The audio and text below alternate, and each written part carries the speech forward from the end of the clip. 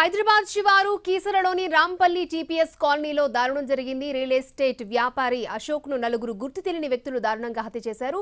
Right ఇదే అంశానికి సంబంధించి మరిన్ని అప్డేట్స్ మా ప్రతినిధి కమల్ లైవ్లో అందిస్తారు.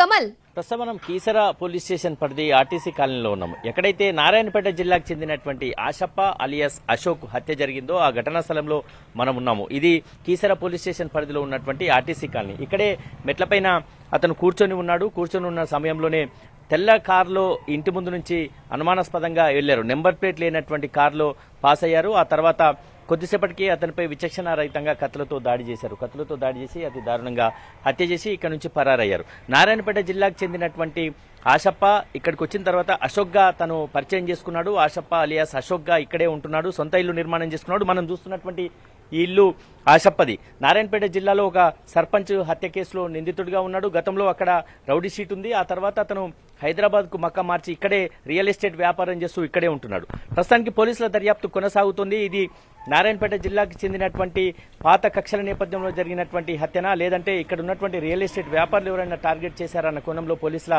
దర్యాప్తు కొనసాగుతుంది. నలుగురు నిందితులు కీసర పోలీసుల అదుపులో ఉన్నట్లుగా కూడా మనకు సమాచారం వస్తుంది. చూడాలి పోలీసుల దర్యాప్తులో ఏం తేలుతుంది? హత్యకు సంబంధించినటువంటి సీసీ కెమెరా దృశ్యాల ఆధారంగా దర్యాప్తు అయితే కొనసాగుతుంది. ప్రస్తుతానికి గాంధీ ఆసుపత్రిలో మృతదేహం ఉంది. పోస్ట్ మార్టం నిర్వహించిన తర్వాత నారాయణపేట జిల్లాలో ఉన్నటువంటి సొంత గ్రామానికి తరలించి అంత్యక్రియలు పూర్తి చేస్తారు. పోలీసుల దర్యాప్తులో పాత కక్షల నేపథ్యంలో జరిగినటువంటి ఈ హత్యగా ప్రాథమికంగా నిర్ధారణకు వచ్చినప్పటికీ హత్యలో ఎవరు ప్రధానంగా ఉన్నారు అన్నది తేల్చే పనిలో కీసర పోలీసులున్నారు అక్షయ. ఓకే కమల్.